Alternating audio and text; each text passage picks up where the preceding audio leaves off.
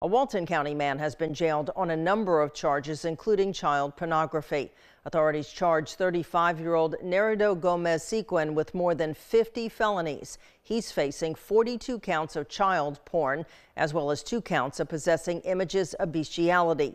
Back in March, Walton County Sheriff's investigators received a tip about child porn on the WhatsApp site. They say they traced two accounts to Gomez Sequin's Freeport home.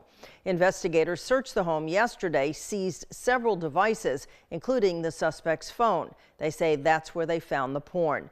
Gomez Sequin is in the Walton County Jail on a $100,000 bond.